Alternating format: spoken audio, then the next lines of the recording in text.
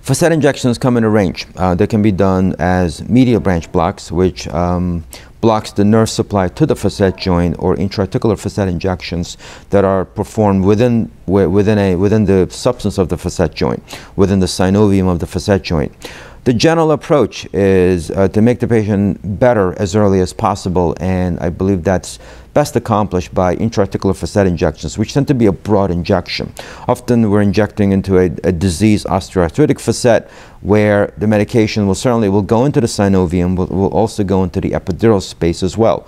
So an intraarticular facet injection is a pretty broad injection, and, and, and a steroid injection deposited into that area will have both epidural and facet-related benefits for the patient.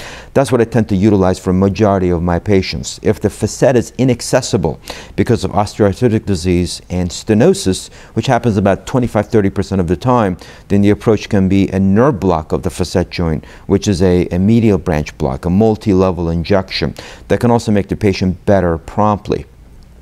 If we find that we're getting good benefit um, that lasts, let's say, several months or so from the medial branch block as well as the intraarticular facet injection, that can continue um, until the patient is better and doesn't need the injections anymore.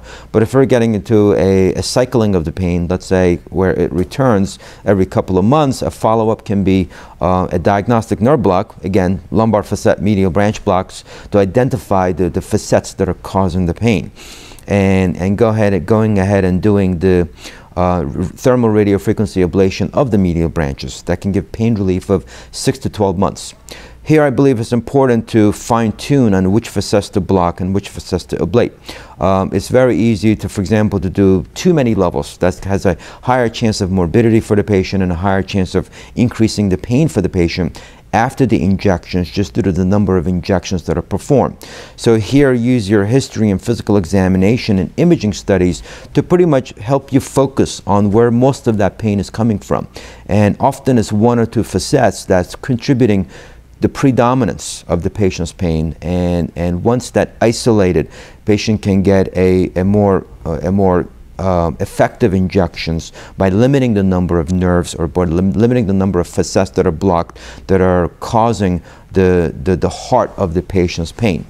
And whatever pain that remains usually gets better subsequently through physical therapy and good posture and, and good, uh, good uh, proper body mechanics.